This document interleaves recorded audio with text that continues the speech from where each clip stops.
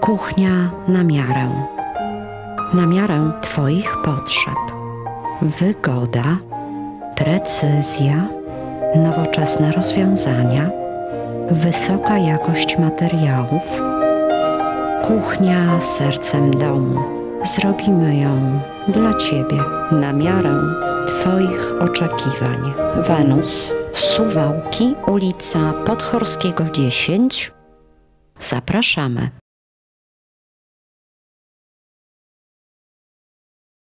Na program zaprasza Gumi Ekspres. Tradycyjne zasady, nowoczesna oferta. Na program zaprasza autoserwis Robert Wierżajtys.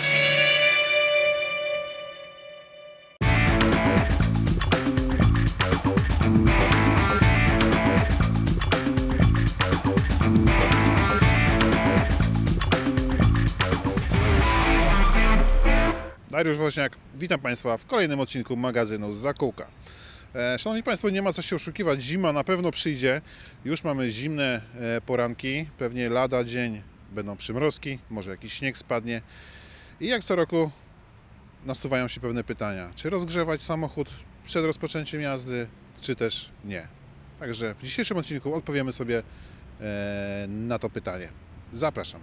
Przed odpowiedzią na to pytanie ustalmy sobie, co stanowi prawo o tym, e, czy, czy może samochód pracować e, na postoju z włączonym silnikiem.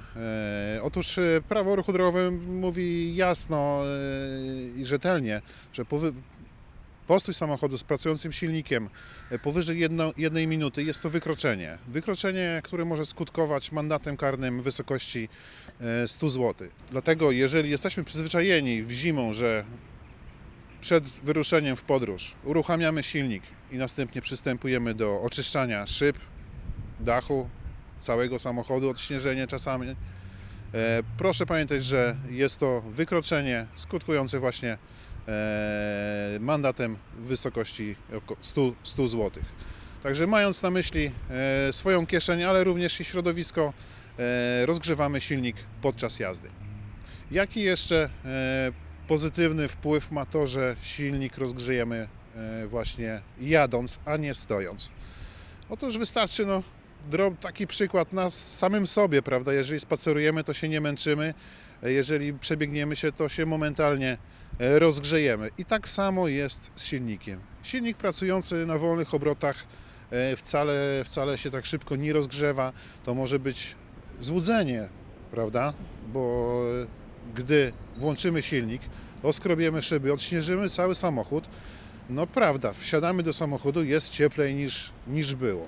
Ale czas, jaki poświęciliśmy na to, aby samochód doprowadzić do jazdy, e, a czas potrzebny, aby ten silnik rozgrzał się do tej temperatury podczas jazdy, jest dużo, dużo dłuższy. Tutaj też pojawiają się pewne pytania, bo jak rozgrzać samochód, jak od, od, od, od, odszronić e, szyby, gdy silnik nie pracuje, gdy niewielka ilość powietrza ciepłego dociera do tych szyb. Otóż są oczywiście środki chemiczne, aby, aby ta czynność przebiegała szybko, szybko i sprawnie. E, Różnego rodzaju mają Państwo do, dyspo, do dyspozycji e, odmrażacze w sklepach dobrej jakości skrobaczka i tutaj nie metalowa, tylko z tworzywa najlepiej. Dobrej jakości miotełka, która nie połamie się przy byle mrozie i pod byle słabym naciskiem.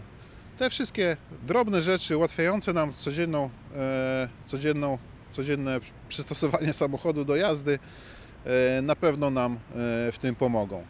E, co jeszcze ma na wpływ, wpływ na to, abyśmy, abyśmy nie musieli rozgrzewać silnika, nie musieli nagrzewać wnętrza, odparować szyb. Tak jak w wielu odcinkach e, e, w okresie jesiennym e, wspominałem, e, zadbajmy o te nasze auto, e, aby tej wilgoci się pozbyć z samochodu, bo ona nam najbardziej doskwiera właśnie zamarznięte szyby od środka.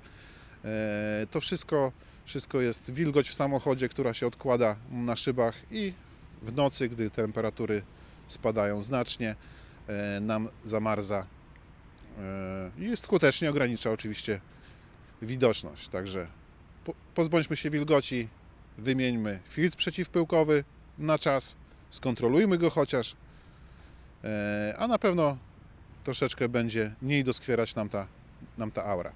E, Są jeszcze pewne szkoły, e, które mówią, co zrobić z silnikiem, aby on szybciej się rozgrzewał. Nie będę tu mówił, czy to jest dobra szkoła, czy zła. Wiem, że taka jest. Niektórzy kierowcy e, po prostu na okres zimowy ten stan oleju e, troszeczkę sobie obniżają, czy- przy, przy okazji wymiany na przykład jesiennej e, nie leją, że tak powiem, podkorek, choć podkorek się nie leje oczywiście tylko do górnego znacznika na bagnecie. Ten poziom właśnie trzymają w dolnym położeniu, skrajnym czasami poziom oleju w silniku. No, teoretycznie fizyka no, powinna tutaj e, zadziałać. Mniejsza ilość oleju szybciej się rozgrzeje, prawda?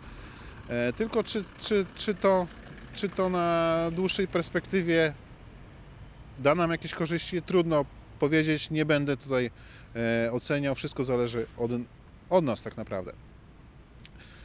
E, Co jeszcze możemy zrobić, żeby szybciej ten silniczek nasz się rozgrzał, abyśmy cieszyli się ciepłem w środku? E, Również o tym, może się powtarzam, właściwy musimy zadbać o układ chłodzenia, czyli właściwy poziom płynu chłodzącego. Każdy może sprawdzić, otwierając maskę. W każdym samochodzie jest zbiornik wyrównawczy, gdzie gołą, gołą, gołym okiem e, powinno dać możliwość skontrolowania tego poziomu. Kolejną rzeczą, którą stosują kierowcy, aby szybciej w okresie zimowym rozgrzał się ten silnik, otóż zasłaniają chłodnicę e, różnymi elementami, czy to kartonem, czy, czy, czy jakimś z tworzywa, płachtą. E, Jeżeli silnik jest sprawny, samochód mamy sprawny, wszystkie układy sprawne, to taka rzecz absolutnie jest zbędna. E, Tym bardziej, że źle zrobiona taka rzecz może doprowadzić wręcz do, do przegrzania, do przegrzania silnika. E, Każdy oczywiście zna swój samochód, wie jak się zachowuje właśnie przy takich operacjach, jeżeli to oczywiście robi.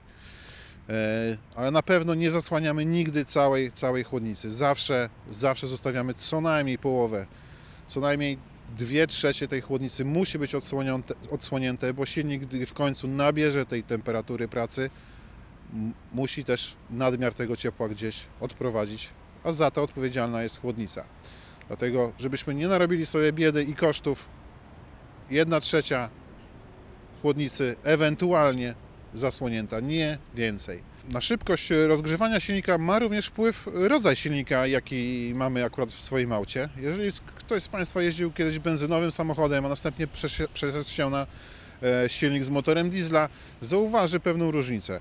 E, Ja też w swoim życiu miałem tych kilka samochodów e, i zauważyłem, że może taki model trafiłem, że silnik diesla jednak troszeczkę dłużej się e, rozgrzewa, a już na pewno dłużej właśnie na postoju, na wolnych obrotach. E, tak jak powtarzam, może taki model mi się trafił.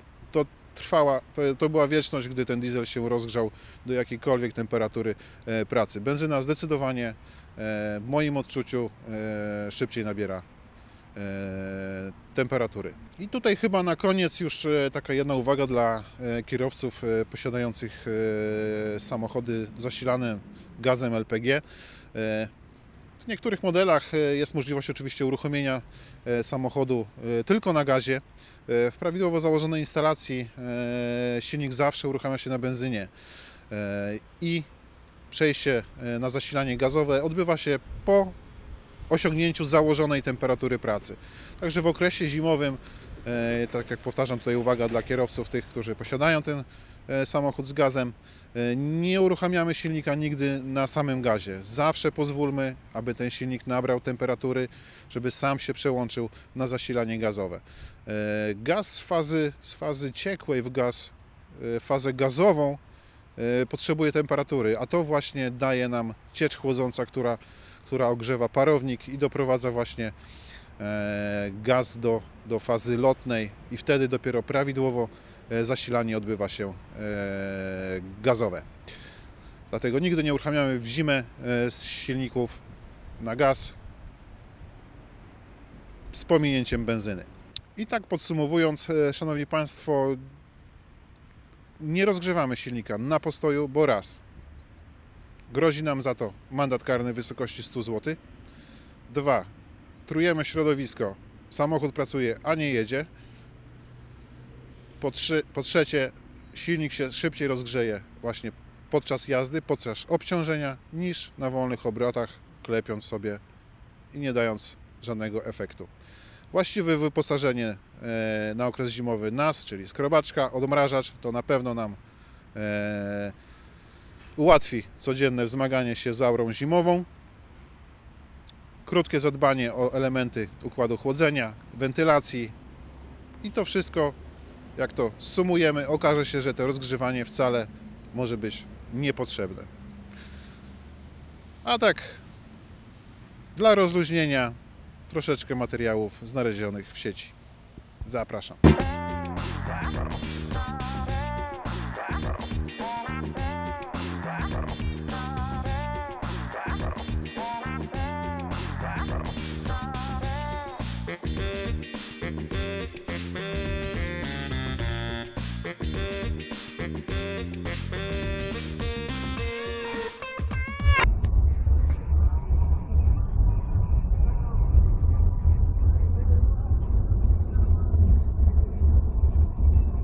Wszystko w dzisiejszym odcinku. Ży, ży, życzę Państwu, aby ta zima jak najpóźniej do nas przyszła, bo przyjść to przyjdzie pewnie na pewno. Dziękuję Państwu za uwagę. Do zobaczenia za tydzień.